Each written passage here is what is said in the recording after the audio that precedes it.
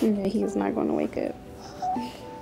When he was in the birth canal, it's just hard to kind of explain mixed emotions from happy he coming to my paternal instincts telling me something wasn't right. He had to have EEGs hooked up to him. He had brain scans, CAT scans. Just seeing him hooked up to all those tubes and the incubator, just, it was a trying time. He's been fighting since he came out.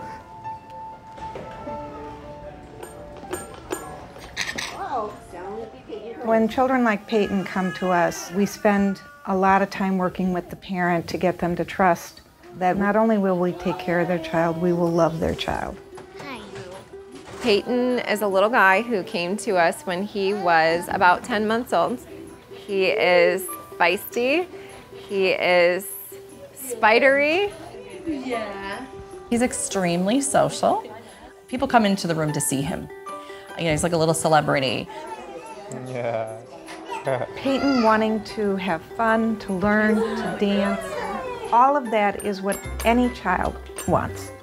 It just means it takes him a little bit longer and we have to retrain some of his muscles and some of his brain to work in a different way. Count them. One, two. Initially, he really wasn't rolling or sitting, so any kind of mobility was challenging for him. You know, it was a, a slow process, you know, step by step, sort of showing him how to move his body.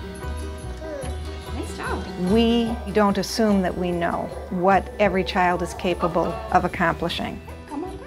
And our expectations are that they can do everything. We are continually surprised. Good job. When he started walking, I was like, oh my God, I was so excited. Peyton's going to eventually move out of our special care nursery because he is very mobile now. He likes to wrestle, which we're trying to discourage him from doing. I don't know what we would do if it wasn't like for Penfield. Just to watch him surpass all the milestones that, you know, doctors didn't think he would. It's, it's amazing.